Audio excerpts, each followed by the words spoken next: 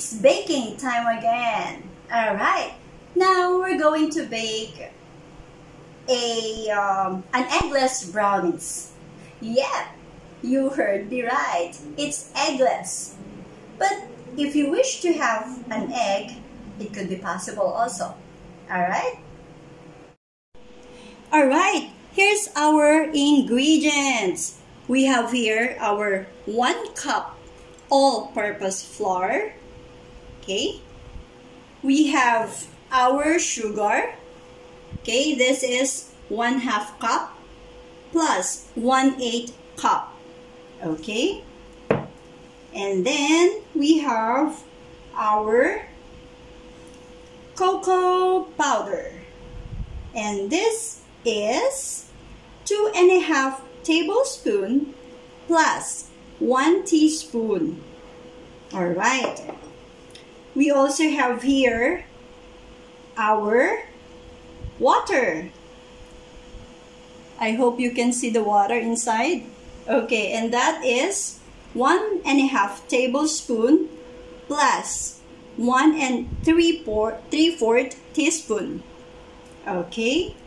Okay, we have here our one fourth teaspoon coffee, one fourth teaspoon salt, one fourth teaspoon baking soda, and one half teaspoon baking powder.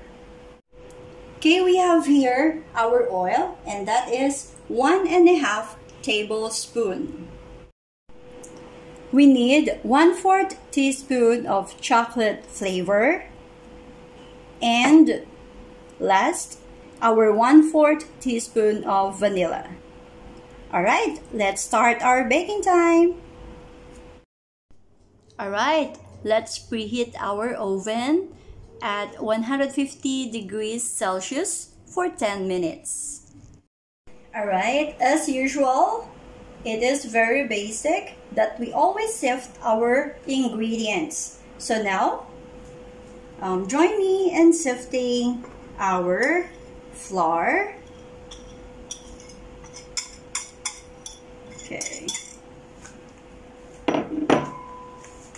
Okay.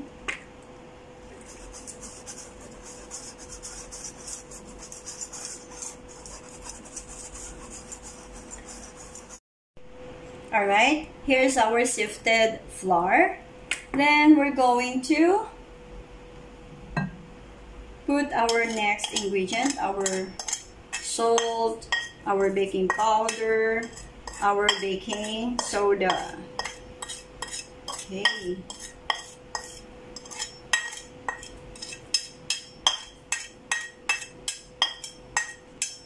Okay, our coffee will be later.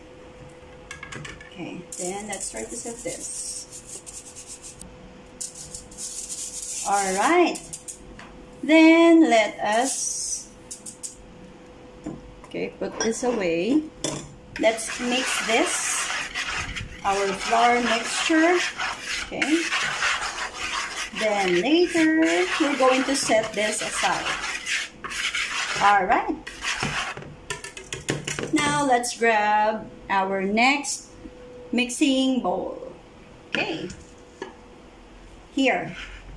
We're going to mix our sugar.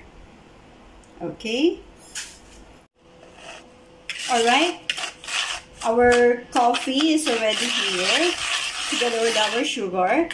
Then let's um, add our cocoa powder. Alright.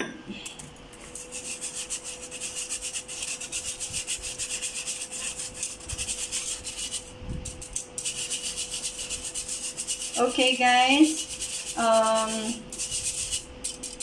as I've mentioned before in our um, moist choco cupcake, um, we use the coffee to enhance the chocolate flavor. Okay?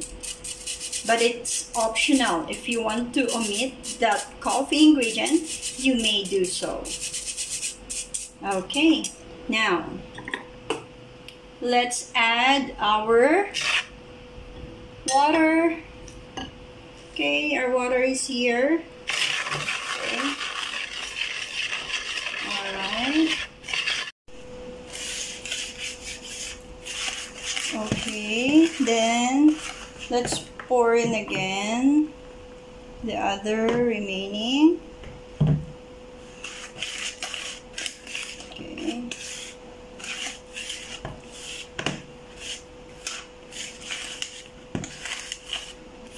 It's a bit sticky. Okay. Then the rest. Okay, I want to get all the flour.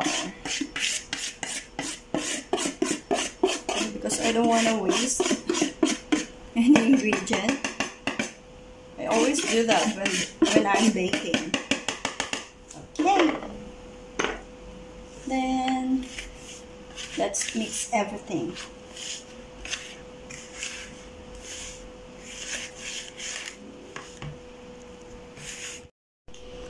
Alright. So we actually added here um, 2 tablespoons of water and some oil also. We added 2 tablespoons more. Okay. So if the mixture, if you try to bake this one and if the mi mixture is so dry, you can add um, oil and water little by little okay? So just adjust it. And if you want your eggless brownies to be extra sweet just add more sugar to your liking. Okay and by the way guys for the topping you can add on some nuts or sprinkles Okay, so later I'm gonna check if I have some nuts, some leftover nuts, then I will put, put on top of this. Okay, I'll get back to you. Alright, we are now going to pour this in in our greased pan. Okay, so okay. For greasing the pan you may use oil or butter or margarine. Okay. What's important is that uh, you have there some oil so that the mixture will not stick on the pan. Okay okay let's everything Okay. I'm already hungry. I want to make this quick so we can eat. Okay. Okay, so I want to remove everything. Okay. And, and then now here's the most exciting part. Okay let's scatter this mixture. Okay. And then make the topmost um, smooth. All right so that later, uh, later we have equal and smooth eggless brownies. Okay. All right, our oven is already preheated at 150 degrees Fahrenheit for 10 minutes. Then, now it's ready for our eggless brownies. We're gonna bake our brownies for 15 to 20 minutes since this is just um, a little. Alright. Now let's put our eggless brownies. Then I'll get back to you later after 15 to 20 minutes. Alright, after 15 minutes, let's try to insert a toothpick. Okay, it's not yet ready. So let um, let bake um, some more time, maybe five minutes. Then I'll get back to you. Alright, after 20 minutes, let's try to insert our toothpick again to see if it's okay now. Okay, now, okay, there's a bit of crumbs, but it's fine now, okay? Alright, our eggless brownies is good to go. Let's remove it from the oven. Alright, now here's our finished product. Our eggless brownies with some nuts as toppings.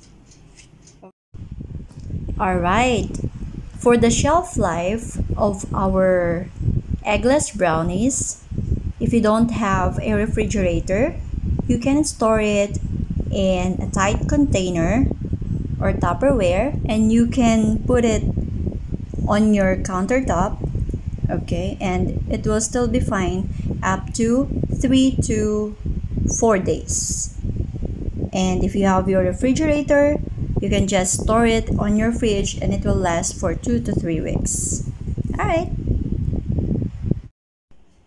all right um, if you have some time and then you have tried this recipe please let me know. How did it go?